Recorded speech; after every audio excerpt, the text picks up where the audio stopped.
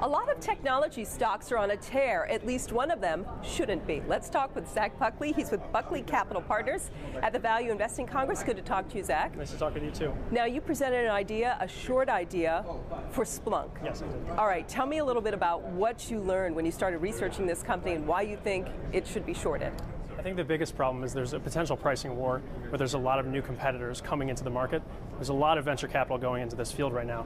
And so I believe pricing will come down. Splunk has its products priced substantially above where competitors are. And I think that's going to be difficult for them.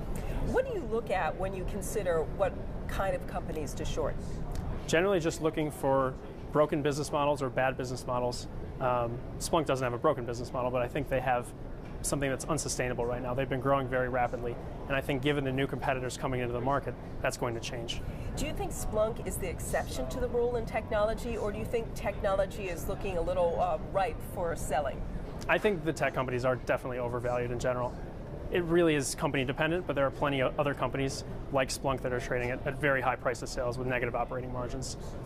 Let me ask you about Facebook. At what price does Facebook become a value stock?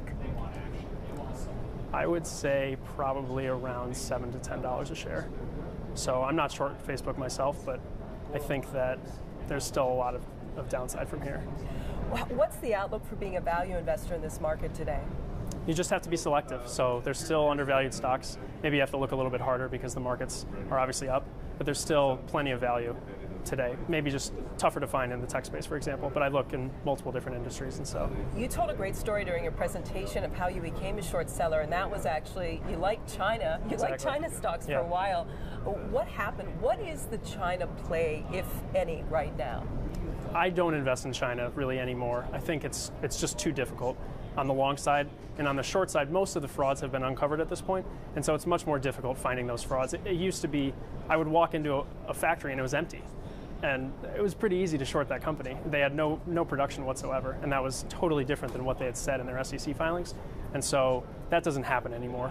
The frauds that are left are very sophisticated, and so it's it's much more difficult to find them at this point. Generally speaking, do you prefer to look within the U.S. now? Yes, I do. I focus almost entirely on the U.S. And any other sectors catching your eye as of late? Not specifically. I really just look at specific businesses, and it's it's over several different sectors. So, I nothing specific. Zach Buckley, good to talk to you. Thanks, Thanks so much. much. Appreciate it. I'm Rhonda Schaffler. This is Reuters.